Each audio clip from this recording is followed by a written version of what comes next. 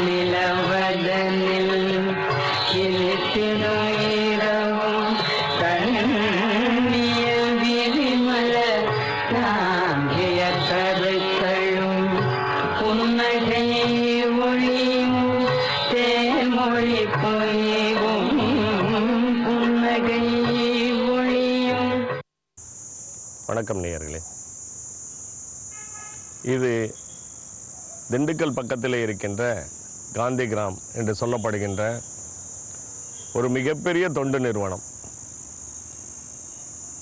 தன்னலம் கருதாது சேவையாற்றி வருகின்ற அந்த தொண்டு நிறுவனத்தினுடைய ஒரு முக்கியமான பகுதி. காந்தியின் பெயராலே இயங்கி கொண்டிருக்கின்ற செயலாற்றி கொண்டிருக்கின்ற தொண்டு செய்து கொண்டிருக்கின்ற ஒரு இடத்திலே அவருடைய அஸ்தியின் மேல் எழுப்பப்பட்டிருக்கின்ற ஒரு அழகான ஸ்தூபி. இந்த காந்தி கிராம் ஆரம்பிக்கப்பட்ட பொழுது உத்தமர் காந்தியடிகள் அவருடைய பெயராலே ஒரு மிகப்பெரிய அமைப்பை ஏற்படுத்திய அந்த மகிழ்ச்சியிலே தன்னுடைய கைப்பட எழுதிய அந்த வாழ்த்துச் செய்தியையும் இங்கே அனுப்பியிருக்கின்றார்கள். அவர் கையெழுத்திலே எழுதி அனுப்பிய அந்த வாழ்த்து செய்தியை மறையாமல் மறைக்காமல் மறவாமல் இருப்பதற்காக இன்றைக்கு இந்த பகுதியிலே கல்வெட்டாக செதுக்கி மக்களுடைய பார்வைக்கு நம்முடைய பார்வைக்கு இந்த பலகை ஏற்பாடு செய்திருக்கின்றார்கள். இதோ பாருங்கள்.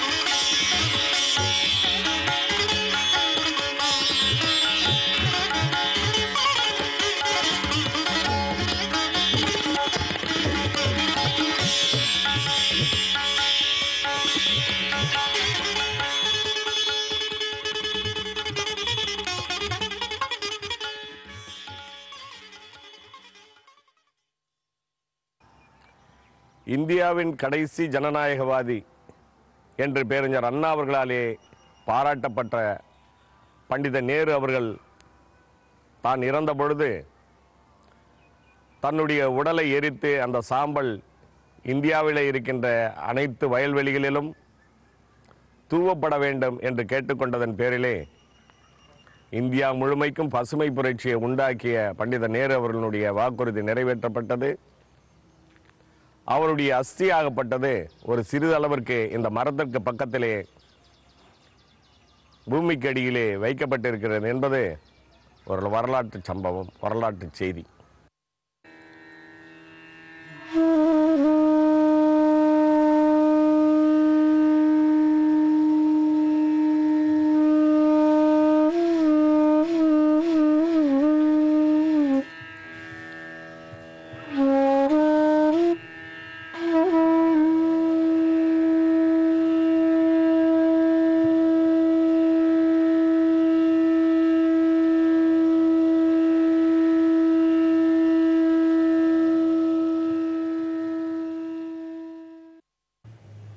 இந்தியாவினுடைய வளர்ச்சி கிராமங்களில் தான் இருக்கிறது என்று சொல்லுவார்கள். இந்த நாட்டிலே கிராமங்கள் வளர்ச்சி அடைந்தால்தான் கிராமங்கள் முன்னேறினால்தான் இந்த நாட்டினுடைய வளர்ச்சியை அளக்க முடியும் என்று சொல்லுவார்கள். அதை போல இந்த பகுதியில் இருக்கின்ற கிராமங்களை தத்தெடுத்து அந்த கிராமங்களுக்கு அடிப்படை வசதிகளை உருவாக்கி தந்து அந்த கிராமங்களுக்கு என்னவெல்லாம் வளர்ச்சி குறித்து அவர்களுக்கு விழிப்புணர்வை ஏற்படுத்த முடியுமோ அத்தனை பணிகளையும் இந்த காந்தி கிராம் செய்து கொண்டிருக்கின்றது. இன்றைக்கு பெண்களுடைய முன்னேற்றம் பெண்களுடைய வளர்ச்சி பெண்களுடைய கல்வி தரம் இவர்கள் அத்தனை பற்றியும் அவர்கள் செய்கின்ற அளப்பரிய பணிகளை நாம் கண்கூடாக காண முடியும். கிராம தொழில் வளர்ச்சி என்பதனை உயிர் மூச்சு கொள்கையாக கொண்டிருக்கின்ற காந்தி கிராம் இன்றைக்கு கடைகோடியிலே இருக்கின்ற அந்த மக்களுக்கும் தொழில் வளர்ச்சி அடைய வேண்டும். அவர்களை சார்ந்த கிராமங்களிலேயே அவர்களுக்கான பொருளாதாரங்களை உருவாக்கி கொள்ள முடியும். அந்த பொருளாதாரங்கள் வளர்ச்சி பாதையை நோக்கி செல்ல வேண்டும் என்கின்ற அந்த அடிப்படையிலே அவர்களுக்கு பல்வேறுபட்ட கைத்திறன்களை வளர்க்கின்ற ஒரு பயிற்சியையும் இன்றைக்கு வழங்கி கொண்டிருக்கின்றார்கள். இன்றைக்கு பெண் கல்வி என்பது எந்த அளவிற்கு முன்னேற்றம் அடைய வேண்டுமோ அந்த வளர்ச்சியிலே காந்தி கிராம் தன்னுடைய பங்கை நிறைவாக செய்து கொண்டிருக்கிறது. காந்தி கிராம் பல்கலைக்கழகம் அதற்கு ஒரு எடுத்துக்காட்டு.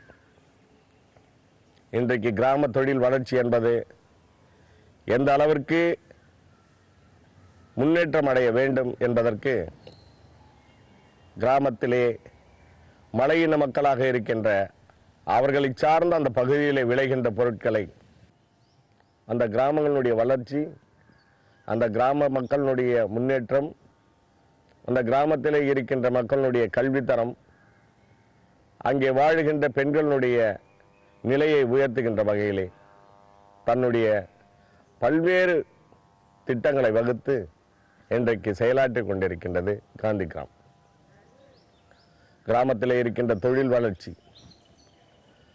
அந்த கிராமத்தினுடைய முன்னேற்றத்திற்கு எந்த வகையிலே பயன்பட முடியுமோ அந்த வகையிலே அவற்றினை பக்குவப்படுத்தி அவற்றினை திறன்மிக்கதாக்கி அத்தனையும் செய்து கொண்டிருக்கின்றது இந்த கா- காந்தி கிராமம். அதனுடைய பணிகளை அதன் தொண்டு நிறுவனமாக செயலாற்றி கொண்டிருக்கின்ற அந்த சிறப்பான செயல்பாடுகளை நாம் இன்றைக்கு காண இருக்கின்றோம்.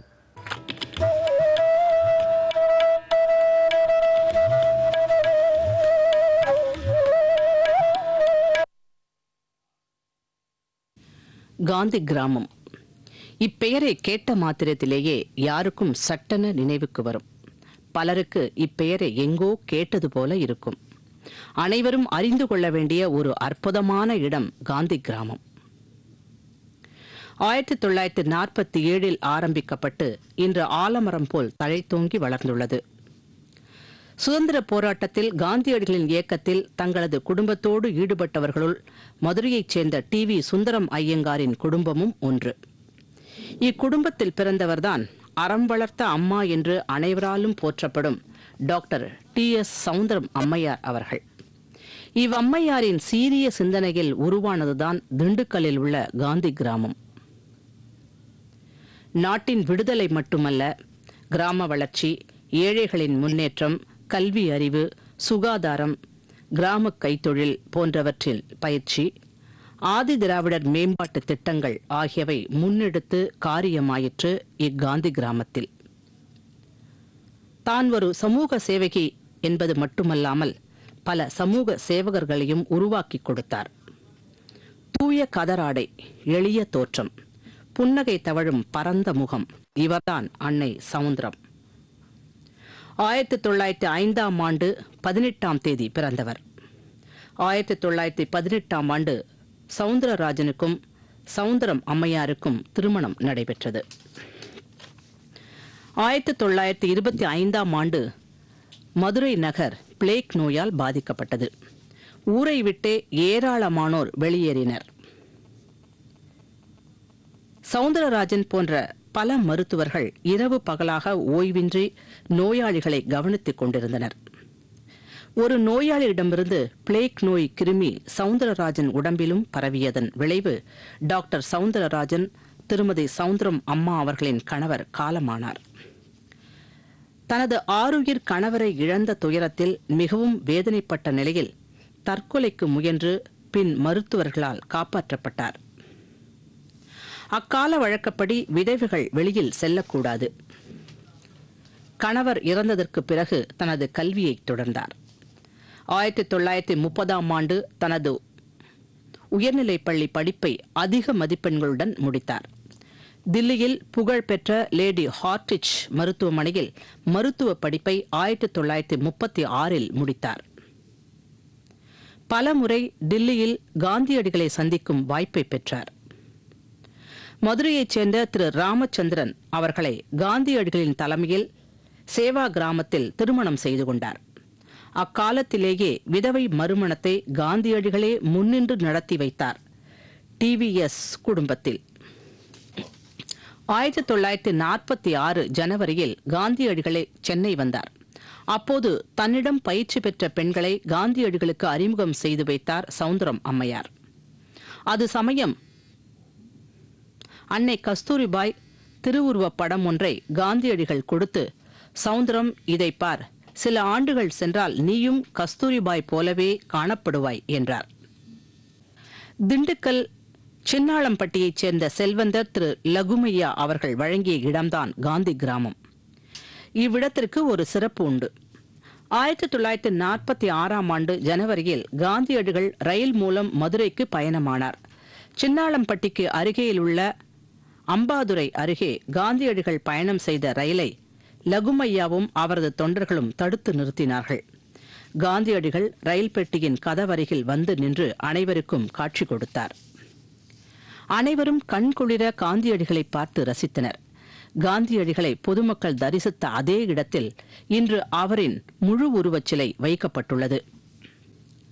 காந்தியடிகள் காட்சி தந்த இடத்தை சுற்றியுள்ள பகுதி தனக்கு சொந்தமான இடத்தை திரு லகுவையா அவர்கள் காந்தி கிராமம் அமைவதற்கு இலவசமாக கொடுத்து உதவினார்.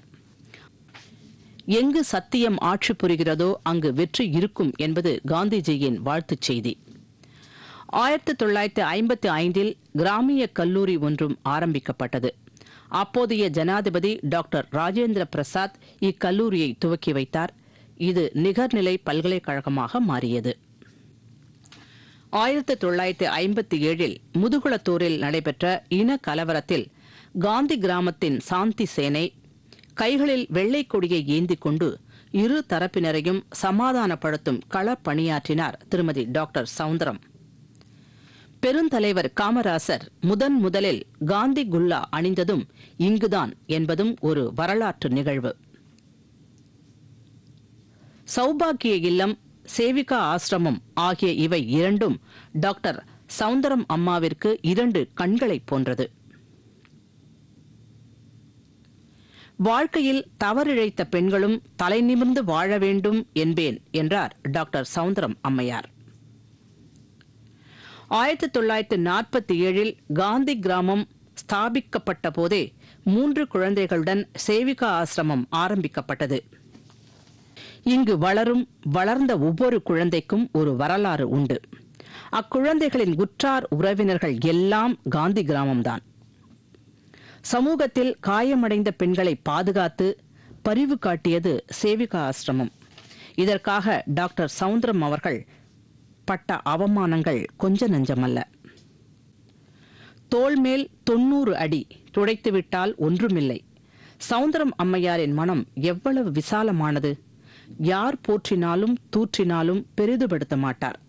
தற்போது சேவிகா ஆசிரமத்தில் நூற்று ஐம்பது பெண்கள் இருக்கிறார்கள். டாக்டர் சவுந்தரம் அம்மையாரின் தியாகத்தை பாராட்டி ஆயிரத்தி தொள்ளாயிரத்தி அறுபத்தி இரண்டில் டாக்டர் ராஜேந்திர பிரசாத் அவர்கள் பத்மபூஷன் விருதினை வழங்கினார். லக்ஷ்மி சேவா சங்கம் இது பெண்களின் முன்னேற்றத்திற்காக ஆரம்பிக்கப்பட்டது. ஆயுர்வேதம் சித்தா முறை மருத்துவம் வழங்கப்பட்டது. டாக்டர் கொண்டல்ராவ் அவர்களின் மேற்பார்வையில் இம்மருந்து தயாரிக்கும் பணிகள் தொடர்ந்து நடைபெற்று வருகின்றன. கதர் கிராம தொழில் வளர்ச்சியடைய பல்வேறு திட்டங்கள் வகுக்கப்பட்டன. இதன் ஒரு பகுதி சென்னையில் உள்ள குரலகம் சென்னையில் உள்ள குரலகம் உருவாக காரணமானவர் டாக்டர் சவுந்தரம். டாக்டர் சவுந்தரம் அம்மையார் அவர்களின் ஆக்கப் பணிகளில் முதன்மையானது கிராம மருத்துவ சேவையாகும். இவருக்கு உறுதுணையாக ஜெர்மன் நாட்டைச் சேர்ந்த டாக்டர் ஒடிலியோ கூனிக் என்பவர் ஆயிரத்தி தொள்ளாயிரத்து நாற்பத்தி எட்டில் சுமார் இருபதாயிரம் பேருக்கு மருத்துவம் பார்த்திருக்கிறார். ஆயிரத்தி தொள்ளாயிரத்தி நாற்பத்தி எட்டில் சுமார் இருபதாயிரம் பேருக்கு மருத்துவம் பார்த்திருக்கிறார்கள் என்று சொன்னால் அது வியப்பிலும் வியப்பே.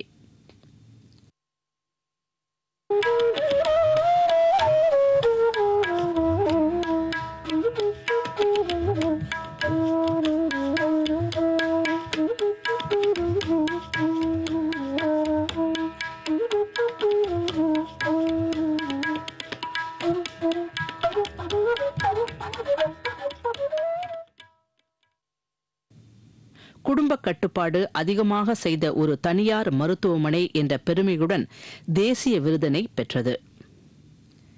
ஆயிரத்தி தொள்ளாயிரத்தி எண்பத்தி மூன்றில் திருமதி எம் எஸ் சுப்புலட்சுமி தன்னுடைய இசை கச்சேரியின் மூலம் கிடைத்த ரூபாய் பத்தாயிரத்தை இம்மருத்துவமனை ஆபரேஷன் தியேட்டருக்கு கொடுத்து உதவினார்.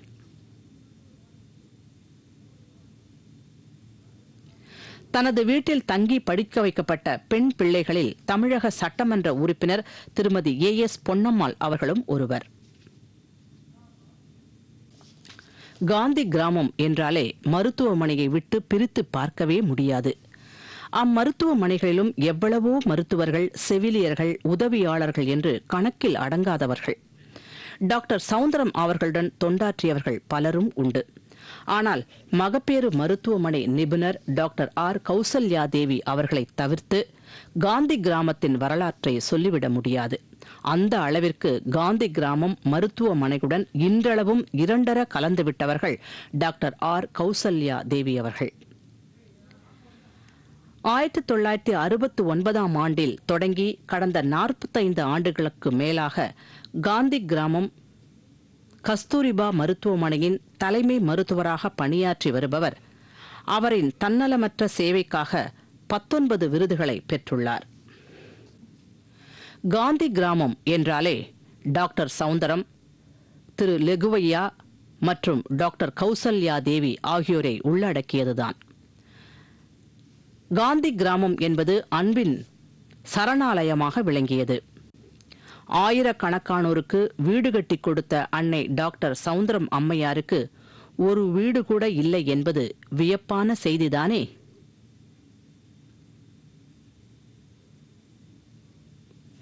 காந்தி கிராமம் எனும் மிகப்பெரிய அமைப்பை காந்தியின் விருப்பப்படி அமைத்து அனாதை குழந்தைகளை காப்பாற்றி தாய்ப்பாசத்தை பொழிந்து கல்வி கொடுத்து வாழ்க்கையை ஒளிமயமாக்கியவர் டாக்டர் சவுந்தரம் அம்மையார்.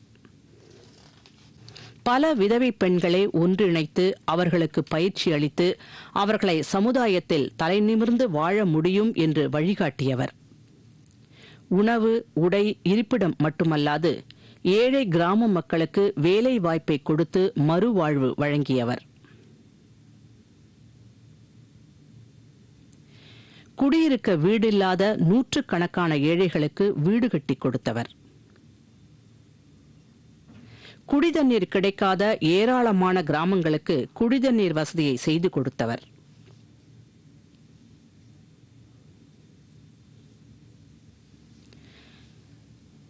நோயால் பீடிக்கப்பட்டு அல்லல் படும் ஏழை கிராம மக்களுக்கு மருத்துவ சேவையில் மிகச்சிறந்த இடம் பெற்றுள்ளது காந்தி கிராமம்.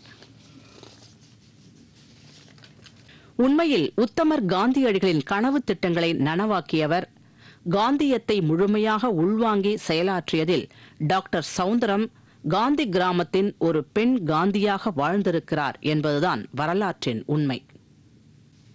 காந்தியடிகளின் கனவுகளை நனவாக்கி தன் வாழ்நாளெல்லாம் ஏழை எளியோரின் வளர்ச்சிக்காக உழைத்திட்ட காந்தி கிராமத்தின் நிறுவனர் அன்னை டாக்டர் சவுந்தரம் அம்மையார் அவர்கள் ஆயிரத்தி தொள்ளாயிரத்தி எண்பத்தி நான்காம் ஆண்டு அக்டோபர் மாதம் இருபத்தி ஒன்றாம் தேதி இயற்கை எய்தினார்கள். அந்த அம்மையாரின் உழைப்பின் பயன்கள் ஏழைகளுக்கு தொடர்ந்து கொண்டுதான் இருக்கிறது.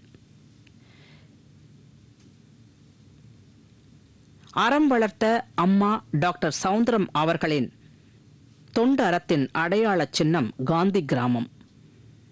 அந்த அம்மையாரின் உழைப்பின் பயன்கள் ஏழைகளுக்கு தொடர்ந்து கொண்டுதான் இருக்கிறது இன்றும். அறம் வளர்த்த அம்மா டாக்டர் சவுந்தரம் அவர்களின் தொண்டு அறத்தின் அடையாள சின்னம் காந்தி கிராமம். வாழ்க டாக்டர் சவுந்தரம் அம்மையாரின் புகழ். காந்தி கிராமத்தில் கடைசி ஏழை அனாதை குழந்தை பருவ பாதிப்புக்குள்ளான பெண்ணினம் உள்ளவரை. வாழ்க அம்மா டாக்டர் சவுந்தரம் அம்மையார் அவர்கள்.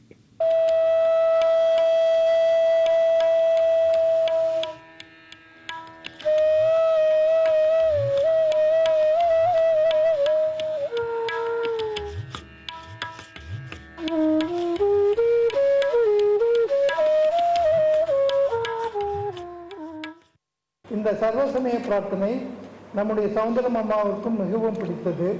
சவுந்தரம் அம்மா ஆரம்ப காந்திகிராமம் ஆரம்பித்த காலத்திலிருந்து இந்த இன்று வரை இந்த சர்வசமய பிரார்த்தனை எல்லா வெள்ளிக்கிழமையும் ஐந்து மணிக்கு நடைபெறும்.